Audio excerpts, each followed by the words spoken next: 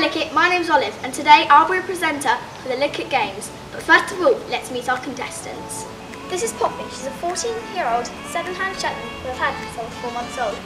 Sadly, as I'm outgrown her, we can't ride her anymore, but instead of riding, we're now doing showing with her.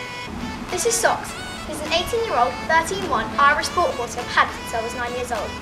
Me and Sox do all pony go activities, but are thinking of starting polo and side saddle next year. Ponies will compete in a series of challenges which contain Likit products. As it comes towards the end, we will add up all the points, and the pony who has less points will win the Likit Extravaganza. Our first event is a snacker bucket.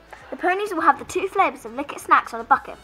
The pony which drops the less will win the point.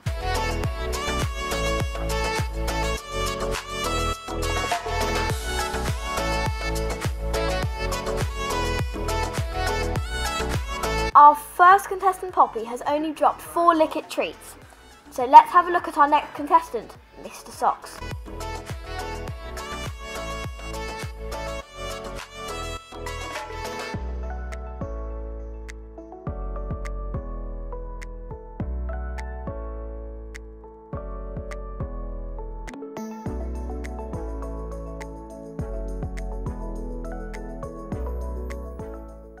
So, our contestant number two has dropped five treats.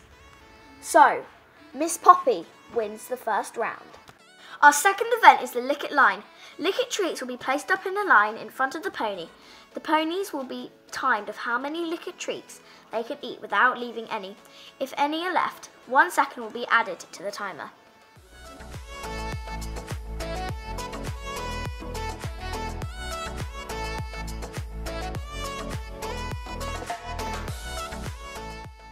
Our first contestant, Poppy, did very well, scoring a timer of 39 seconds. Our second contestant, Mr. Sox, had his go, but sadly didn't beat Poppy's score. Sox got a score of 50 seconds as Poppy got one of 39, so sadly Poppy steals the point for this round. Our third and final challenge is the bag o' treats. The ponies will have to try and open this bag as fast as possible. Loads of different Likits will be displayed inside. Sadly, Poppy has not won this round. Sox takes the point of four seconds. And the winner is Poppy. The both ponies did very well, but Poppy had a score of 39 and Sox had a score of 38. I know this video is different from others, but I thought I could do it differently this year. Thank you very much for watching Likit and I really hope you like it. Bye.